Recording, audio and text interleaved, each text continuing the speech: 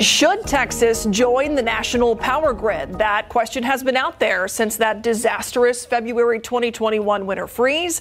And a U.S. congressman from Texas has filed legislation to try to make it happen. We're joined now by Representative Greg Casar. He represents parts of San Antonio up into Austin. Thanks for being here. We sure appreciate it. We want to start with why. Why file this? Why do you think this needs to happen?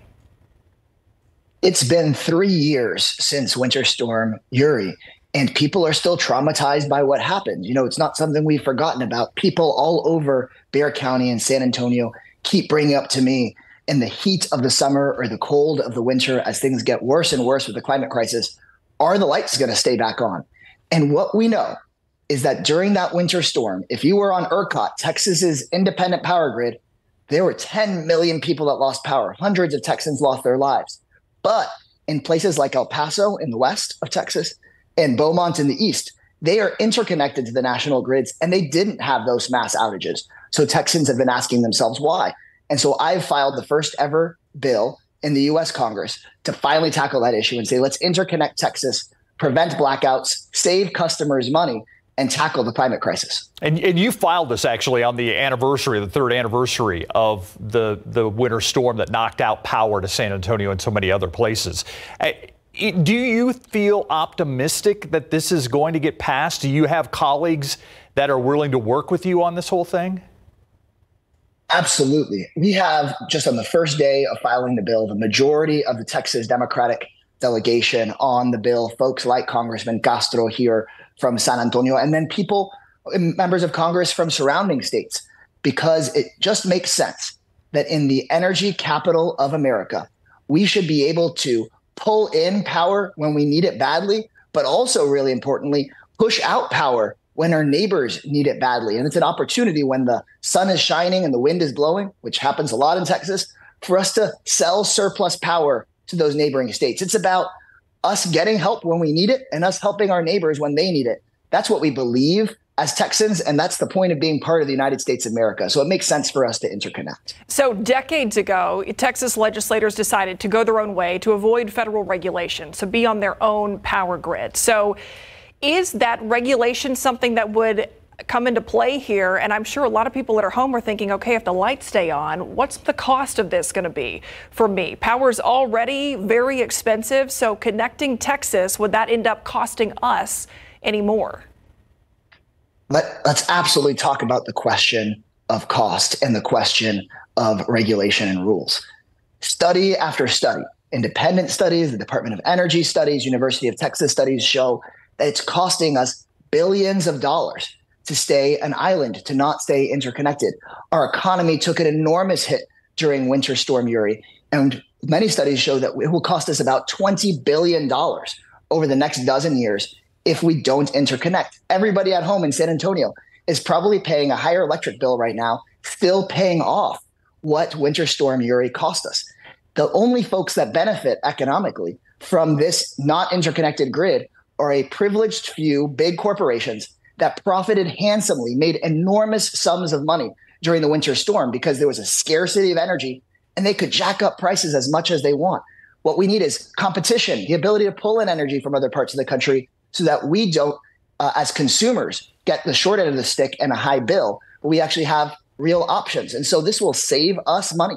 And the federal regulations that you mentioned that would kick in by having us be interconnected is called the regulation for fair and reasonable pricing. We would get federal consumer protections to make sure people don't get screwed by high electric bills. So ultimately, this will be an economic benefit for the vast, overwhelming majority of Texans. The only folks standing in the way are probably those people that really made a huge sum of money off of people's misery and things like the winter storm.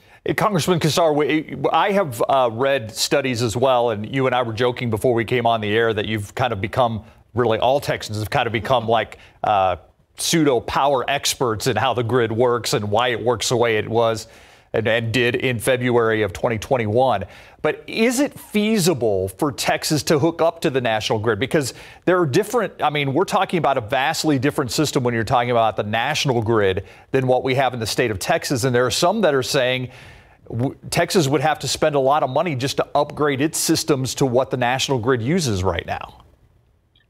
this would be a huge construction project. We would need to build big wires uh, interconnecting our states so that we could have dozens of giga- gigawatts of transmission between us and the rest of the United States. But in this moment, we know we need to upgrade our nation's infrastructure. That means upgrading our public transportation. That means upgrading our bridges and our airports. And we should be upgrading our electric system as well. That means investing in Texas's grid to make it tougher and interconnecting. That will create lots of good jobs for people in our community, things like electricians and electrical work.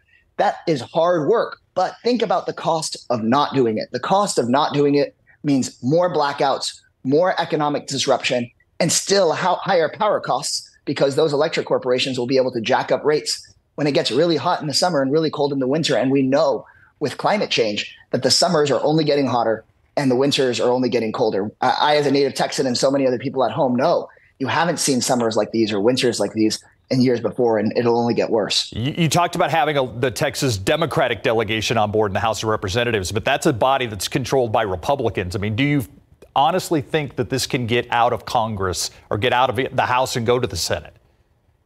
I feel very committed and I feel very confident that this will become the law of the land. And here's why it is good economics. A big part of the reason that I filed the bill is because um, we want to save lives. I was standing out there in the winter storm, carrying blankets, pulling senior, working with public transit agencies to pull seniors out of their freezing home into high school gyms.